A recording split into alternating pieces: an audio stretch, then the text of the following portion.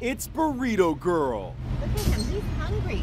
This adorable two year old is showing her gratitude to firefighters battling the California wildfires by handing out free breakfast burritos. Thank you.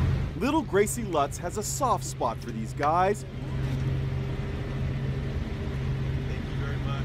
We spoke to the burrito girl and her mom, Chelsea. Can you tell me what the reaction was of the firefighters there? They looked really touched by it. Well, they were happy to see, you know, Gracie's smiling face handing out burritos to them. So they were really grateful for it and uh, overall just really exhausted and happy to eat a nice warm burrito.